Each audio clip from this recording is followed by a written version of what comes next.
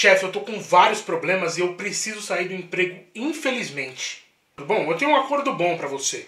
Eu te demito, você me devolve os 40% e o aviso prévio, e aí a gente fica tranquilo. Você vai poder sacar seu FGTS, vai poder sacar o seu seguro-desemprego, fica tranquilo para arrumar um outro emprego, fica bom para todo mundo.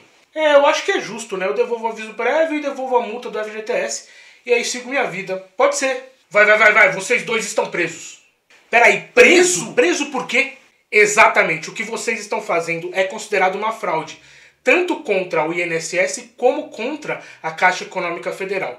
Isso tem consequências cíveis e criminais, porque a gente está falando do crime de estelionato. Então, por isso, os dois estão presos.